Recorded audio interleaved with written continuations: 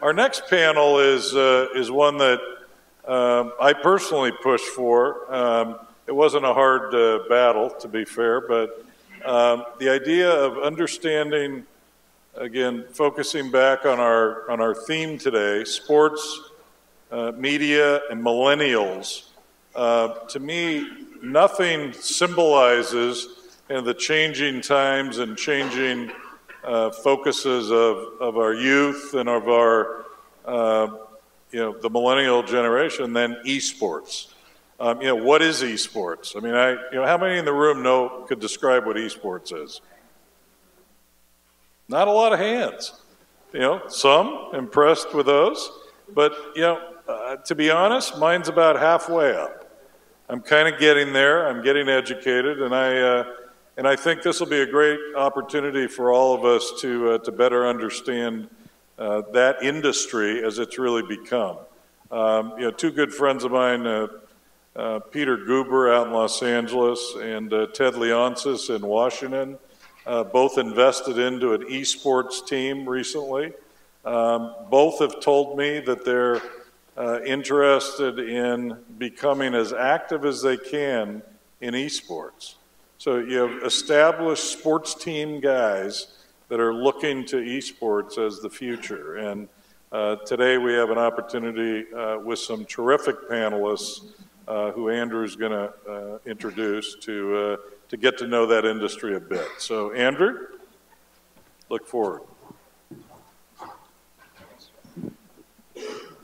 As I bring the guys up, come on up, guys. The, uh, when we think about millennials, we think about sports, something that keeps resonating, people keep telling me about and I'm not the expert these guys are, is esports. You got to talk about esports. If you're going to talk about young people and talk about sports, you're going to talk about what's next, what's the disruptor from all the sports that we know about so much, so often, the big leagues, football, baseball, basketball, hockey, soccer. Well, you got to talk about esports, so that's next. So we have all the experts here.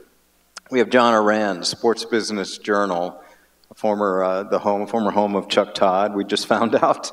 Uh, you have a good alumni crew there. That's quite an alumni. Uh, John has been writing about this, has been talking about this. John has had maybe the biggest week of all sports media reporters, maybe for a long time.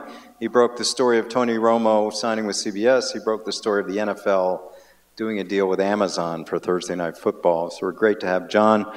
We have Darren Heitner. Darren Heitner is a rock star to young law students because, as you can tell, he's pretty young himself and extremely accomplished as an agent, as a lawyer representing all kinds of brands, and now an esports expert.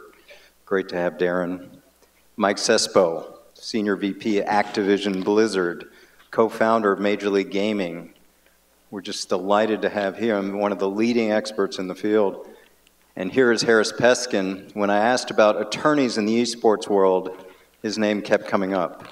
So here he is. And again, he looks like 12 years old. Great to have you. I, we're going to set this up with Mike. Mike has brought, here we are, media, he's brought a clip what a better way to set up what esports is with a clip. So if you could introduce it, then we'll run it. It's about a minute and a half, quick clip about esports. Sure. So um, hopefully this is a clip about our new Overwatch League. Overwatch is a new game um, published by Blizzard Entertainment, one of our divisions, um, specifically focused and, and, kind of built um, for the esports space. So it's meant to be competitive. It's a five on five kind of a mix of the two biggest genres of games in esports, first-person shooters and MOBAs. Um, we uh, spent, you know, well over a, a year uh, with many traditional sports experts um, from the legal world, from the business world, the media world, uh, lots of internal teams kind of putting together what we think the future structure for esports leagues will be. And it, a lot of it is borrowed from traditional sports, from the NFL, the NBA. Um, some of it's brand new because the, one of the marked differences about esports is that somebody owns the underlying IP, um, which is different. And so accounting for that is important. But this is a kind of a sizzle reel um, explaining what the Overwatch League is, and, and it encapsulates some of the excitement of what esports is as well. So I think it'll be a good start.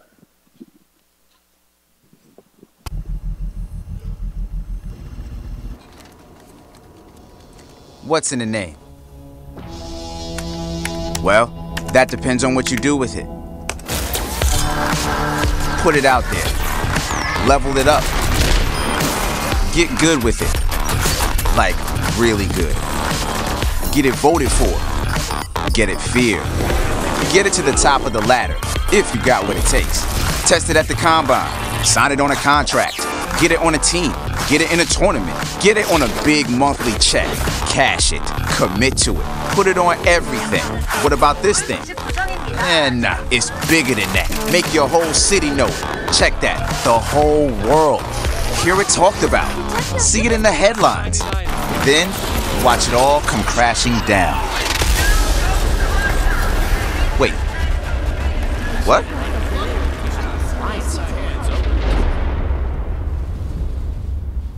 Okay. Get it back on the map. Get it back on top. Get it as the number one fantasy draft pick. Bring it to the playoffs. Get it on the back of a champion. That's your name. Better yet, become a champion. Hear it on the lips of thousands of screaming fans chanting it over and over and over again. What's in the name? Well, that's up to you.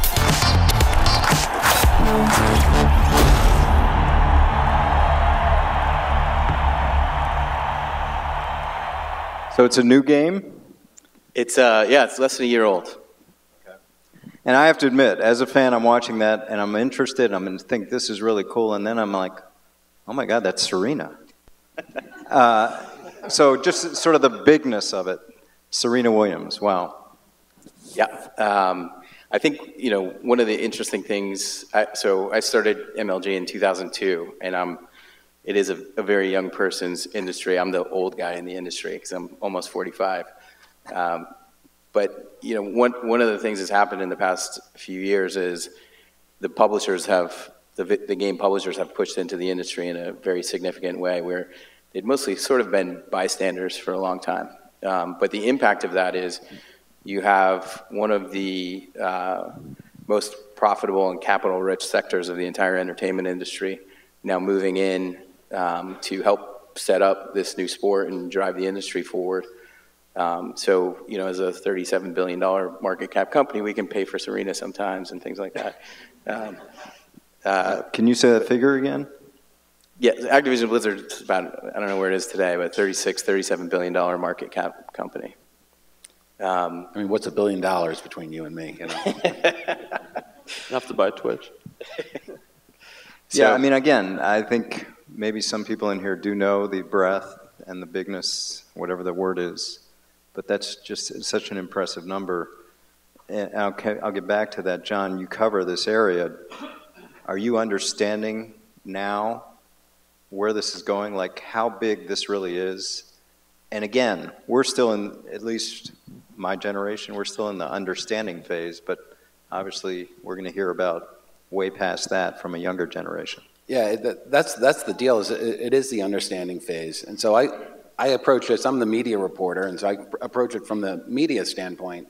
And you, you launched in 2002? In 2002, this wasn't on anybody's radar screen anywhere. I mean, you certainly didn't have um, the broadband con- connectivity to do anything uh, online, and networks you know, just had no interest in, I mean, who, who would cover people playing video games? Uh, which is probably still a question that, that not probably, it's still a question that, that gets asked. who, who would today. watch? I think is the big right. Who would watch other people play video games? Ex- So we actually did the first uh, TV deal with esports in 2006. We did an NBC Sports deal and aired a series on USA Network.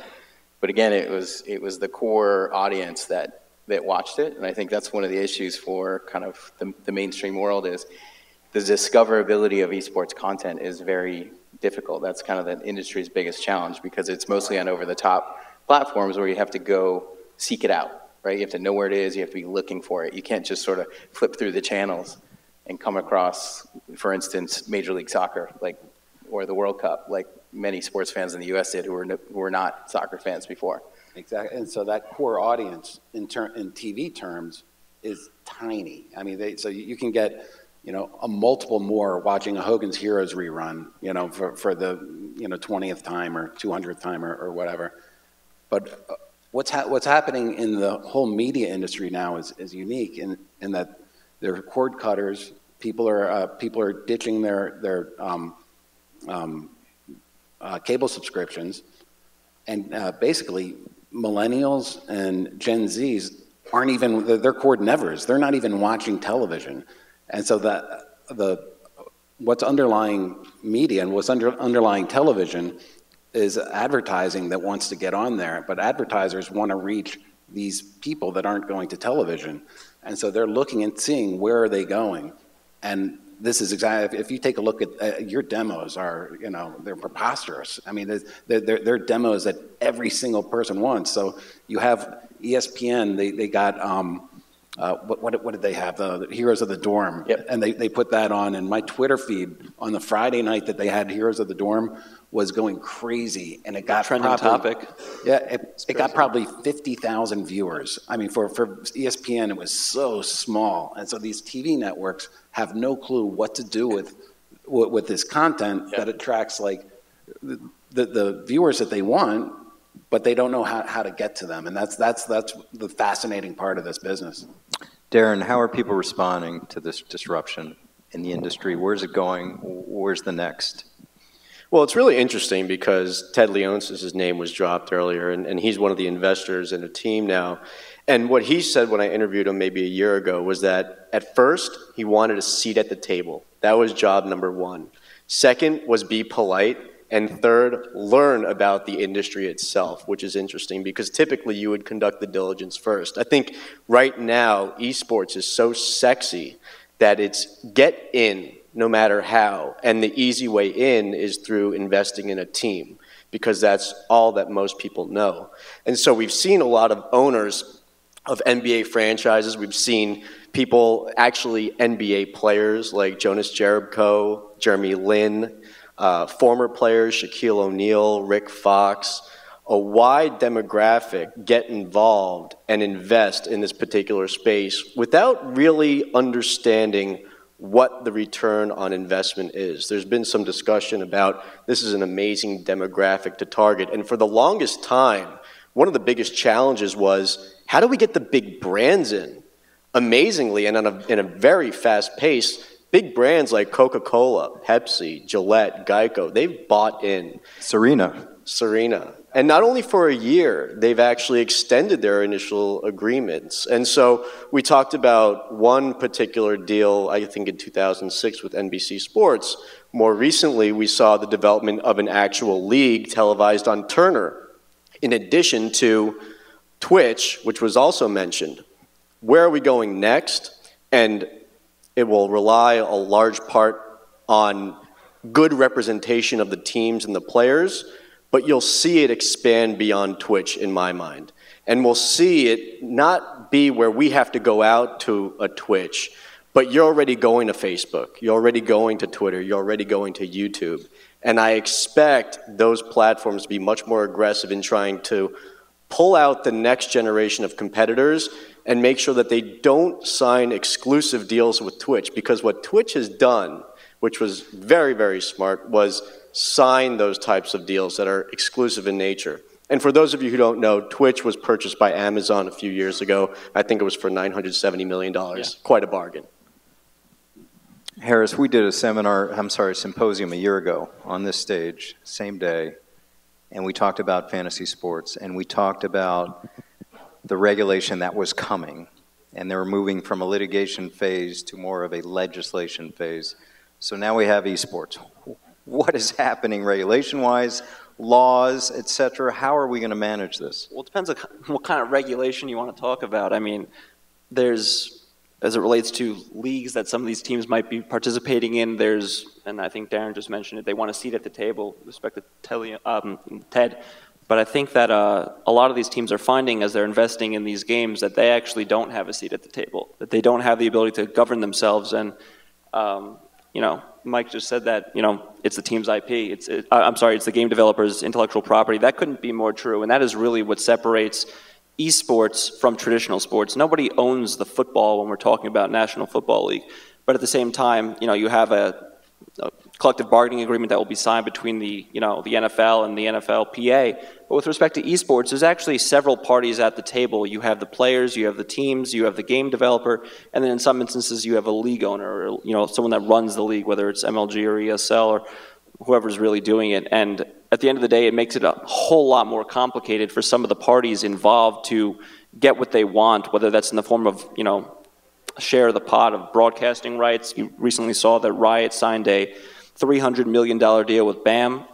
And a lot of the teams and a lot of, you know, players will eventually want to. They want a, a, a percentage of that. And they're finding it increasingly difficult to really nudge their way in and, and, prove that they deserve a right of you know some of that broadcasting, which is really what separates this from traditional sports. If you look at traditional sports, a lot of these teams are going to be making you know roughly 70% or so of their revenues off of broadcasting rights. But when you look at esports, actually the number is closer to zero um, which really, you know, we could talk about the market cap for Blizzard Activision, but with respect to the teams that are involved and having represented a team, I was uh, Associate General Counsel and Chief of Operations with H2K, and we recently, uh, in 2016, we were uh, at MSG in the World Championships for League of Legends before I went on my own. Um, you know, it's a completely different world. It's not like the, you know, game developers, you know, who are. But Harris, is that going to change as as it develops, as it matures? I'm not entirely sure that it will, and I think that you know Mike would tell you that uh, it probably won't in favor of the endemic teams. I think that game developers, it's their baby. They made these games, and they might not want to involve teams in that you know revenue stream. And at the end of the day, they don't have to because they own the game and they get to set the rules and they determine who plays. So I'm not entirely sure that it will change. As it relates to the fantasy question that you asked, uh, it's actually an interesting question because we could talk about skins gambling for three hours, but you know, we don't have that time.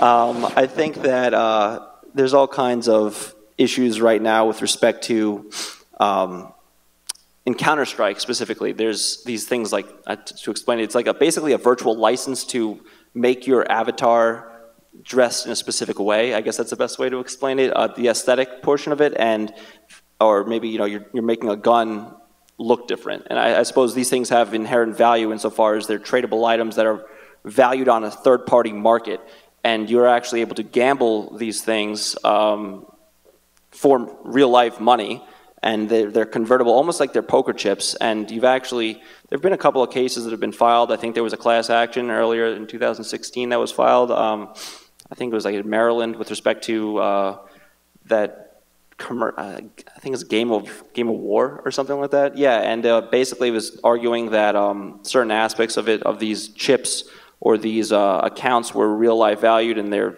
basically there's a gambling portion of this, and that it needs to be subject to the Wire Act. And the real question is, I mean, when you talk about gambling, because that was the you know the basis of the question. The real question is, when is gambling as, as a whole in sports law going to be resolved? Because it's not just you know esports; it's it's sports law in general. You know, PASPA I was actually, you know, PASPA, IGBA, the whole thing. So it's, it's, it's not any clearer in esports, that's for certain. I think regulation will start with gambling. And in fact, we've already seen it in the state of Washington where the Attorney General told the company Valve Corporation, which developed Counter-Strike Global Offensive CSGO, that this skin betting needed to stop. And so they had this... Listen, well, I mean, they listened, but it was, uh, well... I suppose that it hasn't entirely stopped in the way that it right, right, but but there were attempts at least made by Valve Corporation, and they were working with third parties, and so what what was created was this system where the, these skins were being bought, sold, and traded, and so this underground market, which actually became very very overt. It's a seven billion dollar industry that's and, and changing I, and, hands and right now. So yeah. I've actually read a, a, research report by a respected gaming company which said, which gave an estimate that in 2015, gambling and esports was at a 250 million dollar level, projected to rise to 23 billion dollars by 2000 by 2020.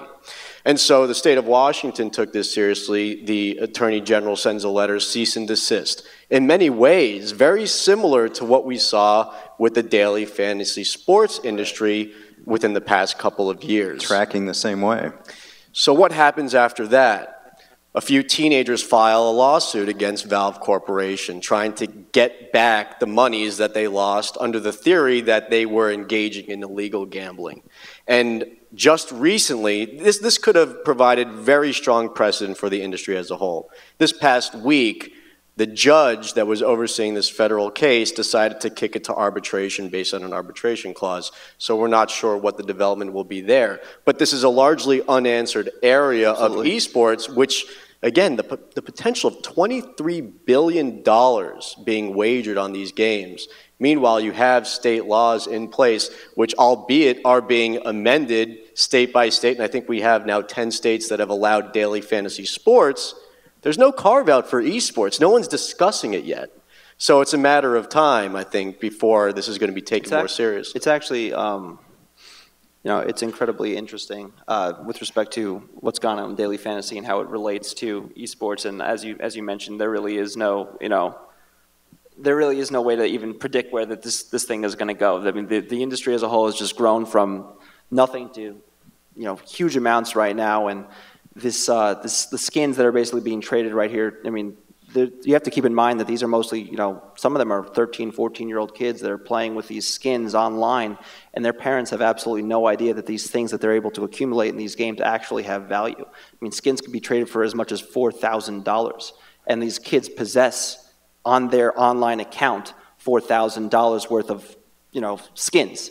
And then they're going to go gamble it away. And it's, it's just, you know, for parents uh, that you know have kids that play these games, they might not even they're completely unaware of these issues. As it relates to the arbitration clause that you, you I'm, brought I'm going to interrupt. I'm going to let Mike. You know, I we don't want to play morality police here, but I want Mike to respond to sort of the the kids issue, the game of the guns issue, sure. and all of that has been obviously criticism.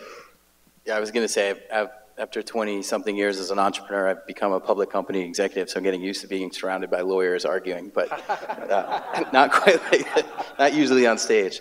Um, the, uh, let me just say that the, the Counter-Strike issue, the skins gambling thing that um, the guys were talking about, is specifically a single game published by Valve Corporation. It's certainly not an Activision Blizzard game. Just want to say that. Okay. Uh, well wait, said. You're uh, a public company. I, I public company. Got it, got it. Valve is a private company, so they can handle it themselves. Um, but it, you know, we're really talking about a single game, and I think the two things are different. I think that there's, you know, there's a lot of speculation as to the size of the potential kind of sports book gambling on officiated and regulated esports leagues, um, which I think will mirror you know, sportsbook gambling in traditional sport. I don't think there's that much different. I don't, I don't actually think it really requires new regulation. I think it's the same kind of thing. If it, if the GCB in Nevada decides that, that they want to sanction it and they feel like the leagues like the NFL and the NBA are sufficiently regulated, they'll do that. And I think the existing laws are,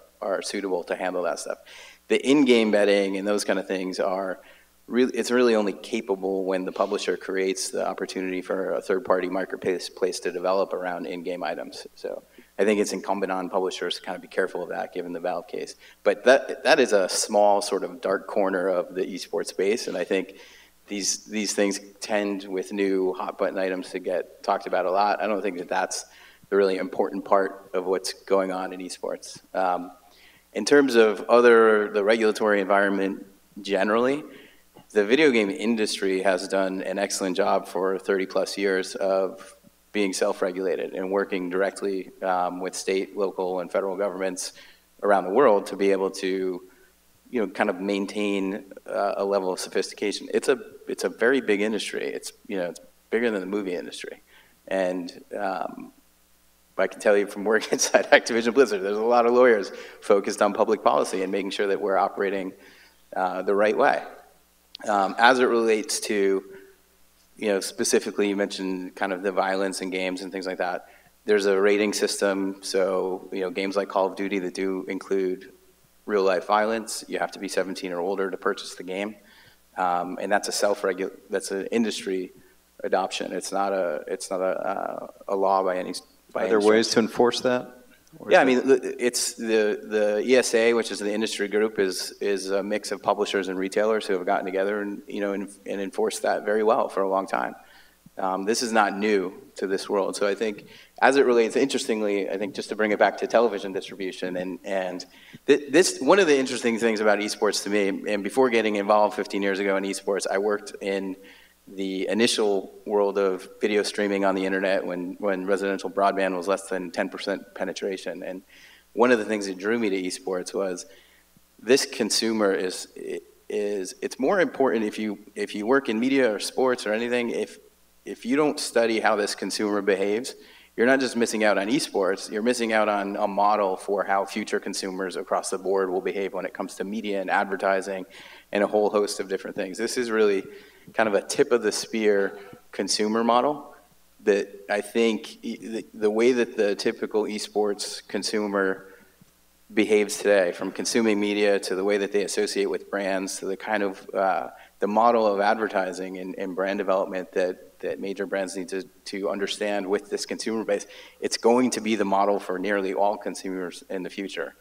Um, because gaming is not something that just a small segment of the population does, it's widely penetrated throughout the population. And esports is, is the typical esports consumer it has a higher level of education, higher level of income, uh, more sophisticated when it comes to technology, and that points to kind of the, the the pack leader in terms of how things are happening and being disrupted. And, and really, I can tell you as a rights owner in the esports space for many years, our distribution deals were largely based on where the consumer was going, not based on you know, trying to go after a TV deal to make money. We, we mostly kept to OTT, and we actually wound up building our own live streaming platform rather than having to work with, with uh, cable networks or otherwise, because the consumer just wasn't on TV, to John's point you know, our, our consumer base is almost entirely millennial. It's almost all below 35, and almost none of them have cable. So, you know, getting a, you know, doing a deal with ESPN or Fox Sports or Turner or anybody means we're effectively broadcasting to our fans' parents, and our fans aren't going to see it. And that's what's so fascinating about it, and that's what That the is brand, fascinating. That's what the brands are, are, are sort of struggling with because you had, I think Fox sold out the Apollo Theater in, uh, in in New York. What was the game they had? Was that Madden or was Madison that? Square Garden with League of Legends. Exactly. So they're seeing these young crowds, but they're not translating to television. So you had Turner set up the E League with uh, WME IMG, and Turner is you know they have TNT, TBS, truTV. They're a big media television company. And this E League is digital first. It's all coming off of, off of Twitch. So they're, they're looking at the, the media industry completely differently than any media company beforehand in terms of, of, of big content. Well, here's a, just a twist on that. So I'm the media guy inside of the, the biggest video game publisher in the world, and we have just in our, our computer and console games, so console meaning PlayStation and Xbox, we have over 100 million monthly users in our games. So what we're doing now with the MLG TV platform, the streaming platform that we bought, is integrating it into those games, meaning our carriage will effectively be somewhere north of 100 million people without doing an outside distribution deal. And those are people that every month are coming and using our games. And um, last year, people spent as much time engaged with our games as they did globally with Netflix. So we already have hundreds of millions of people engaged with our platforms. We can put linear media broadcasting into those platforms. So when you boot up the game, you can go watch a live match. Is that through your proprietary, or is that deals with Google, YouTube? No, it's all proprietary. So um, part of the reason that Activision Blizzard bought my company is because we built our own over-the-top broadcast platform. So now the capability, so we've we've relatively quickly integrated it into Call of Duty, which is around 20 to 25 million monthly users. Um, so if you play the latest Call of Duty game on your PlayStation 4, you can turn on MLG TV and watch the top competitors play each other, just like you would watch a, a basketball game on, on TBS. And the, the, to tag team with Mike, this is, we've been talking about in the TV industry for probably, what, two decades, maybe three decades of uh, uh, eventually Google's going to bid for NFL rights.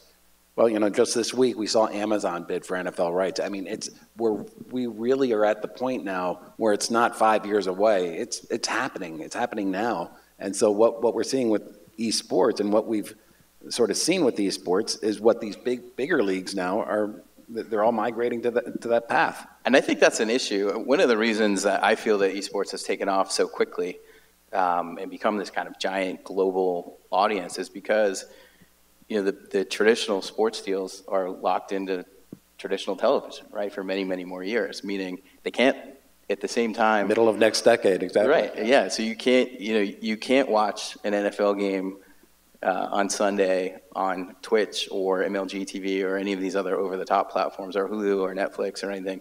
Meaning, if you're a 32-year-old and you don't have cable, where do you? You're not watching the NFL. Well, we've got plenty of content available to you for you for free in platforms that you do have. So we've been able to kind of, I think, as an industry, leverage those you know, those structural deals that are keeping that kind of high, high quality premium traditional sports content away from young consumers. It also represents a complete departure away from the old traditional broadcasting model, though.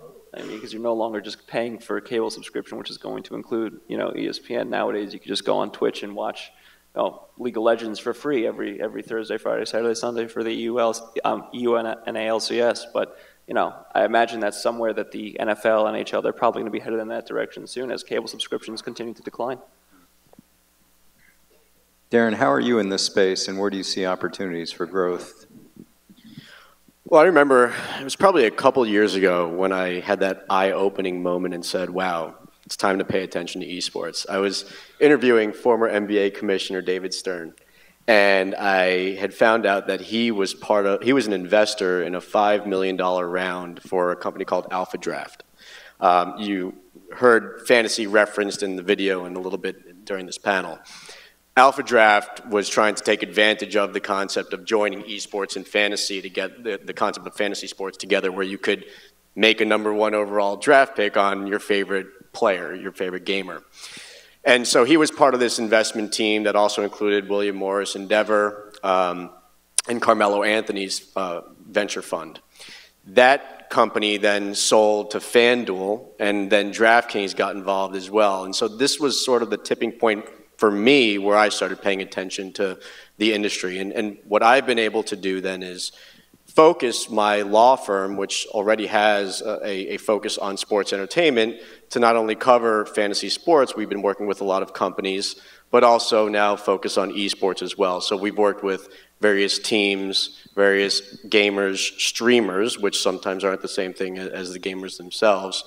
And then also doing some diligence for companies that are looking to invest in the space. And then separately, also some consulting work um, for an NBA team that, that I won't disclose, um, and some others that are also looking to get in, but are figuring out how. It, again, it's, it's an issue of return on investment at this point. There's so much speculation in this industry and not any, any, there's nothing to convince them that they're actually going to get the return that they're expecting. So much uncertainty right now. So much uncertainty. Um, so we're trying to get in and help them with that. There's been discussion about the brands that are getting involved, and one of the biggest challenges, you have these large brands that have come in, and that was probably the biggest challenge. Um, and, and there's been some studies that say 80% of the revenue in esports comes from sponsorship and advertising.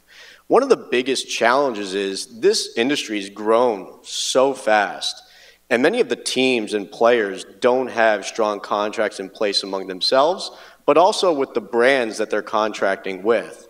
And when you get into duties and obligations and deliverables, what happens if a, a, gamer doesn't drink a sip of Mountain Dew during, you know, while he's playing? Um, because a big challenge is forcing the gamers to do something that they don't want to do. And so what's developed, at least what I've seen, is we're not only putting a, a priority on the competitions themselves, but also practice sessions. And during those practice sessions, it's a bigger opportunity for the gamers to introduce different products and services. So that, that's one development that we've seen. But it's, it's incredibly challenging. And while we haven't seen a lot of litigation in the space thus far, I think it's only a matter of time. The issue is, uh, with respect to what you just said with the Mountain Dew, you know, at the end of the day, the game developer will allow you to have that sip of Mountain Dew on the stage, or they won't allow you to have that sip of Mountain Dew on the stage.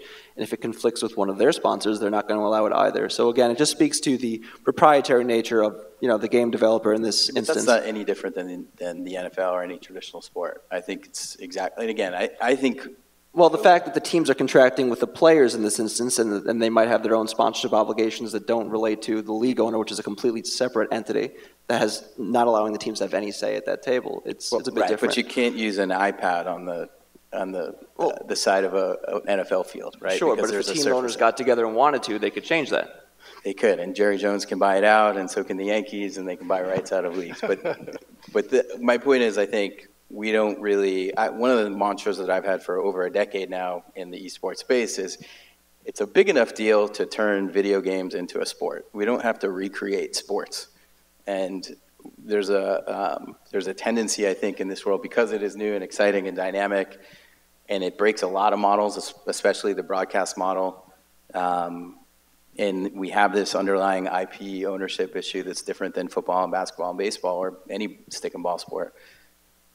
But we don't have to recreate everything. We don't have to recreate how kind of sports books work. We don't have to recreate uh, labor laws. We don't have to recreate. There's so much stuff that we don't have to recreate. And and what we did in developing the Overwatch League was really study, you know, 50 years of development of, of sports league management from all over Europe and North America and even Asia. Kind of how you know, things like the IPL, the Cricket League in, in India was developed. Things like what, what was the start when we started MLG 15 years ago. The first the first thing I did was research the France families build out of NASCAR. Right? I mean, we really need to borrow from traditional sports, and that's where I think, you know, that's why I think this kind of symposium is interesting. Right? We we work with Proskauer and Covington, right? We, we work with the people that are working with the NBA and the NFL on the legal side because that's what we want to do. We want to take the infrastructure that already works. We don't have to reinvent that. What, what we have to do is convince the rest of the world that it is really, really fun to watch five kids play Overwatch against five other kids. And that that's a sport and it's exciting. And, you know, we need to tell those stories and we need to bring those things to the forefront. I think what we, we need from the legal community, especially the sports legal community, is just sort of help in building out that infrastructure. And, and to the, the guy's point, to making things like talent contracts more standardized, making things like sponsorship and endorsement deals more standardized. And it's been the Wild West. You know, most of the people that r- run endemic teams, the teams that, that Ted and Peter have invested into, and things like that, they're, they're young kids who are fans and who are gamers themselves, who have you know been entrepreneurs and started up interesting companies. And I think they they provided a very valuable service. And some of them will make it to the next level. Some of them will team up with NBA and NFL team ownership, and they'll they'll move on. But some of them are also the problem, and that they're unsophisticated, and they're you know it's sort of kids contracting with kids, and then trying to do a deal with Pepsi.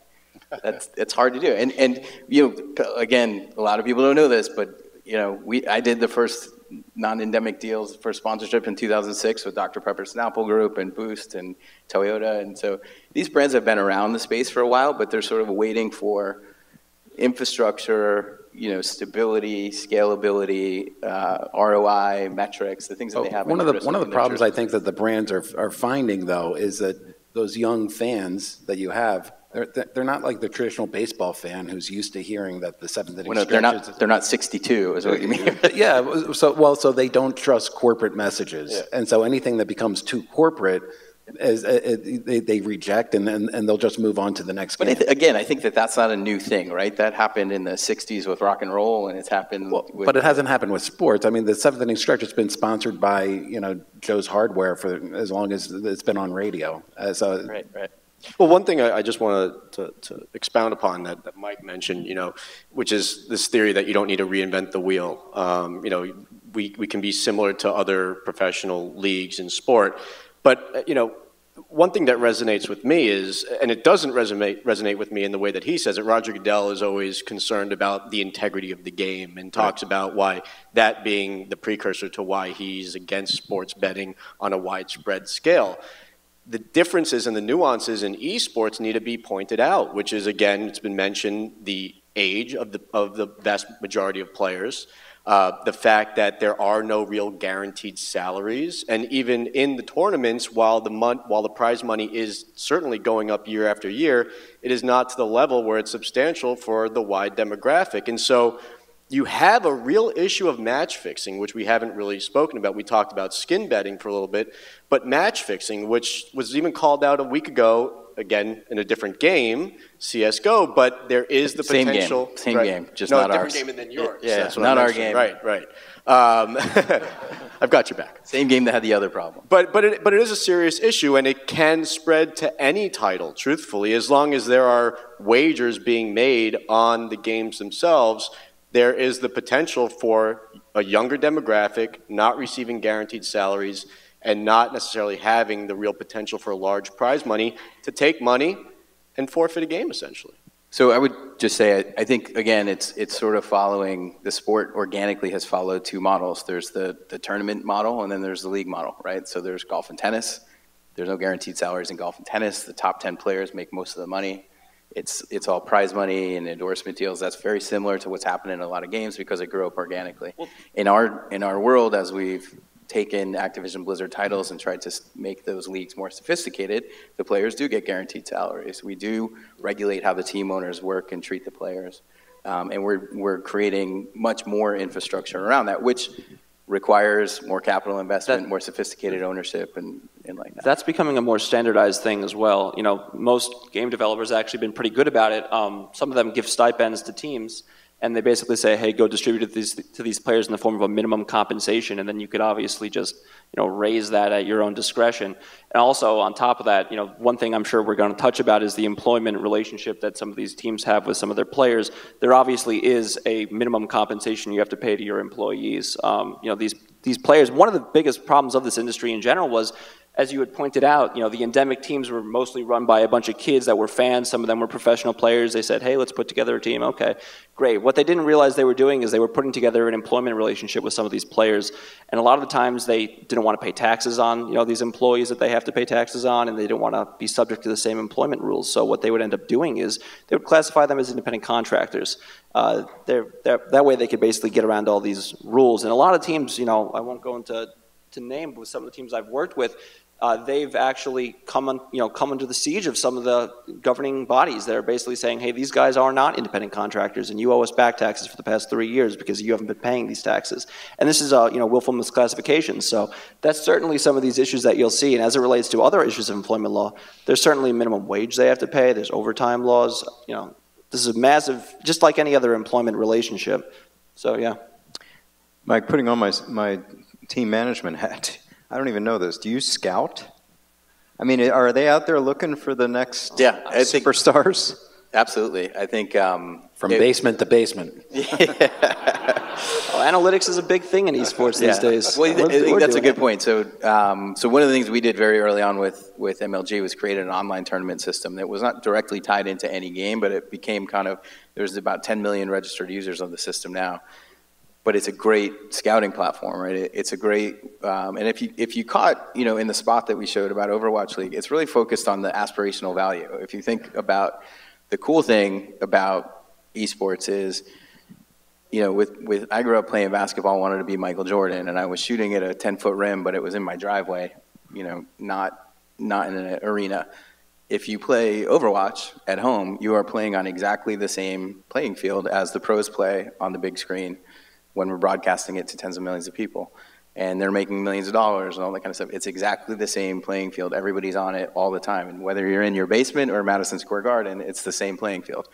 That part is, is very interesting. The other part is the playing field is software. So we can literally know every single data point of every single player who's ever played the game all, all the time. Hmm. It's too much data to actually deal with, but what you can do for the pro players is sort of look at performance metrics and, and things. We can get very deeply into the Moneyball analytics world um, with esports, and, and each game is going to have its own kind of interesting data points to look at. So absolutely, you know, I think one of the great places for these endemic team owners and managers to move to as the as the field gets more sophisticated and people like Ted Leonsis and Peter, Peter Guber and other NBA and NFL owners come into the space, they need GMs. You know, Phil Jackson can't run an Overwatch team. Uh, I don't know if he can run the Knicks either, but but you know that that talent pool uh, is pretty limited, and I think that those guys are going to be very valuable as these teams become more valuable, and as winning and, and finding and scouting the right players becomes more valuable. It's a very unique. You know, it's imagine if there were you know, a handful of great baseball scouts in the world. How valuable would those guys be to Major League Baseball owners? So I think we're going to have that new, interesting generation of things happening. I think too. the advantage is with respect to that, um, the analytics are all, as you said, available through some sort of accessible API more often than not, depending on what game you're playing. And the industry as a whole seems to embrace that a little bit more than traditional sports might otherwise do. Maybe that's, I mean, I don't want to say why. I, I would think it's because it's a younger generation, maybe, and they're more interested in the numbers than traditional sports fans might otherwise be. But um, certainly when we were, you know, when I've worked with some teams in the past, you know, I could tell you firsthand that they employ analytics people, they employ, um, you know, multiple coaches, sports psychologists, you know, the whole nine yards. So they really go all out on all this. And we certainly do have, you know, GMs, scouts that are looking at every single kind of player that you could possibly imagine every second of the day. You know, the one thing maybe John and Darren can address that's so different about the sports that we know or traditional sports is you mentioned this, Mike, the international angle. It's just amazing to me how universal this is. And I read a long story in ESPN magazine about these teams in Korea and teams in China and, and how they have their base camps and everything else. But speak to the global nature of this. I mean, I think we have no idea how big this is. In fact, the United States is woefully far behind in terms That's of right. uh, esports. Absolutely. Uh, so, so uh, one of the things, you know, you take a look at the NFL, and you know, they've grown as far as they can grow. So now they're looking at London, and now they're looking at Mexico, and, and they, they want to go international. And, and the NBA the same way, the ML, uh, Major League Baseball the same way. Well, again, almost like those are TV first, digital second, and esports is digital first, TV second, or maybe even TV third. Who knows? Uh, you know, this is international first, and these these the uh, E League, the WME, IMG, Turner League. How many of them? Most of the teams were international that came over, and in fact, in fact I think they they Yeah. swept. Yeah, it, that's a game by game thing, but you know, uh, I would say, generally speaking, across esports, sort of Korea is to esports what Brazil is to soccer, right? So the it, the sport got big there first. Um, it, yeah, most of the games that are played on on computers, so console games like Call of Duty are a little bit different. They tend to be North American focused, but yeah, that game again, we're talking about Counter Strike, the game with all the problems. Um, but that was that was that we don't make. A lot of bashing Counter-Strike. uh, that was the, the game that was featured in the in the first uh, E League seas, season, and the, you know those teams are largely uh, European. That game is very big in Europe. There's a couple South American teams, I think, as well. Um, but yeah, it, you know, look, and that's one of the issues is it's it's not dissimilar to Major League Soccer for a lot of these uh, for a lot of these games where whether independent companies or the publishers themselves are trying to create leagues, you're trying to make it big in the U.S. or North America, generally speaking, because that's where the rich media markets are and the, the ad dollars. But you're you're taking um, teams of Korean kids and European kids who don't speak English and trying to tell American kids stories about them, and it's hard to build that storyline and hard to kind of uh, to do that. Not dissimilar to MLS, right? You just for for the first generation of MLS teams, there was no big European stars, no big South American stars playing here because they could play in EPL and places where they made a lot more money. From a legal perspective, it's particularly interesting because you're dealing with some serious immigration issues. And so, you know, typically you're dealing with a P1 visa and it's for recognizable athletes. And I think that there is certainly a disconnect with the State Department who if, if we can't wrap our heads around what esports is, how can the State Department wrap its heads around it? So and, and, and to make matters worse, we're in a, a situation currently where there's uncertainty as to what's going to happen with our immigration laws and whether or not individuals can come in based on where they've been in the recent past and where they've come from originally. So there really is a lot of uncertainty, more so now than ever before in esports, and that's saying a lot because there's been uncertainty since the very beginning. These P1 visas are sometimes difficult to come by, and even on an expedited basis, you're sometimes waiting three weeks in order to obtain one.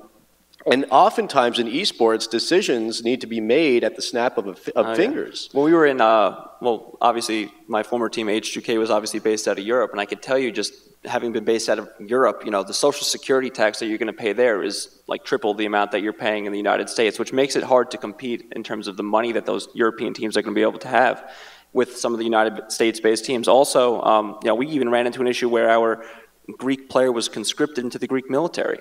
So, I mean, these are real issues that take place on an international level that you might not otherwise have in the United States of America. I, I do think the immigration issues are kind of currently, um, from a regulatory point of view, one of the more challenging ones to esports. We've, um, I've signed probably 30 something letters to the State Department and DHS advocating for P and O visas for, for players. We actually got the first O visa for a broadcaster who was a, a British guy who's a full time employee of ours now. But um, we've been working on this for quite a long time. But now with um, a completely different administration and a completely different point of view on immigration in place, I think that could become significantly more challenging. And one of the things about the international, uh, the really the global audience and the and the global reach of esports has been so great is the talent, not just the players, the talent, the coaches, the managers, the broadcasters. We've been pushing them all over the world in broadcasting from everywhere to everywhere, you know, since I started in this business. And it's been pretty free and easy. It's a little bit challenging, but I think, you know, I, it's, it's sort of standard operating procedure for us now to kind of apply for visas for players to come and play. You know, like I said, we got a, an O visa, permanent Mike, you said you- you signed 30 letters. How, how many of those went through? How many Uh, of those were successful? Yeah, probably 90%. I think probably o- only a few times did they not happen. And, and largely it was a timing thing. It just wasn't going to happen in time for the tournament or the match or whatever it was. But, you know, we've, we've seen great success with that. I think the other thing is, you know, esports is, again, it's, it's a digital sport, it's digital broadcasting, there's a lot of technology involved. So the H-1B visas are an issue for us too, right? There's, we all know there's, watching the news, there's not enough great engineers in this country. And generally speaking, we, we bring people, really smart students from around the world, and we bring them to places like Villanova, and we turn them into computer scientists, and then we make them leave. And that's a challenge. You know, at, at the end of the day, media businesses now are technology businesses, and esports in particular is a very tech-driven media business. Um, not just game development, but broadcast development, ad technology, all the things that we use to make this this work. It's important that we keep uh, immigration in focus and, and push for it to be more open. Like all the panels, this could go forever, but we got to bring up our last panel. Thanks to these guys. Great discussion of esports.